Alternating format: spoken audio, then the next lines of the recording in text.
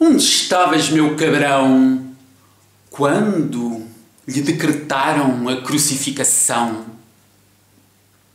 Onde estavas, filho de puta, quando lhe recriminaram a conduta? Onde estavas, meu cabrão, quando nem Madalena lhe esticou a mão?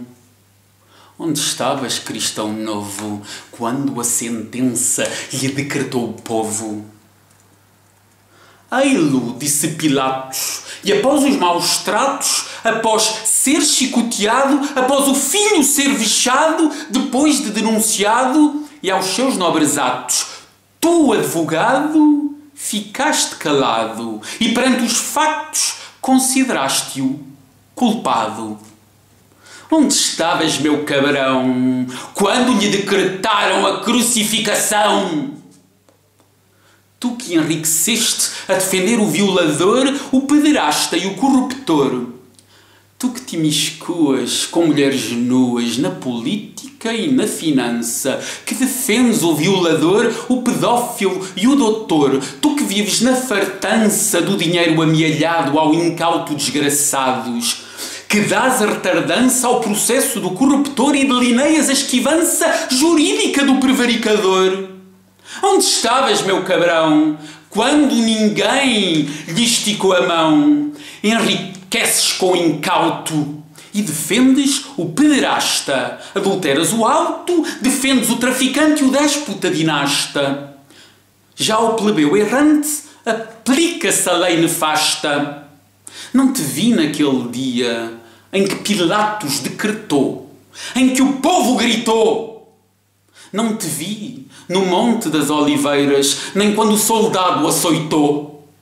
Mas vejo-te nas ombreiras dos palácios e dos castelos, nas mansões dos corruptores, com Lúcifer crias os elos, nas mansões dos pecadores. Não te vi naquele dia em que o filho sofria, mas vejo-te na TV a defenderes quem não crê. Defendes o rico, o poderoso e o estuprador, e perplexo fico quando ilibas o corruptor. Nefasta clientela que com luxo te alimenta, libertas da cela quem do povo corruptamente se sustenta. Onde estavas, meu cabrão, quando o cravo lhe cravou a mão? Onde estavas, ralé, quando o cravo lhe cravou o pé?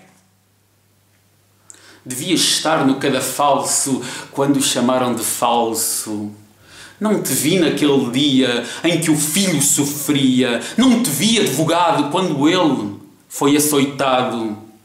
De Lúcifer és o neto e desapareceste quando Pilatos proferiu o decreto. És um gênio em expedientes dilatórios para o corrupto e para o poderoso e perante os factos acusatórios usas de um ardil asqueroso. Já ao pobre e ao miserável que se fodam, pensas tu, que apodreças numa cela nauseabundo e nu.